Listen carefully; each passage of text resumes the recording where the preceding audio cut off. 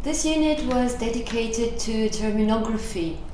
Uh, we presented the data categories that you can use in your term base, the structure, the recommended structure of term bases. We also mentioned the TBX standard, and then in the second part, we presented uh, three tools for terminology management. Uh, the SDL MultiTerm, MemoQ, and the online tool Termbases EU. Uh, towards the end, we also mentioned some reasons why it's a good idea to use text-based methods to obtain your terminographical data, uh, which is a good introduction for the next unit, which will be dedicated to building specialized corpora for terminology purposes.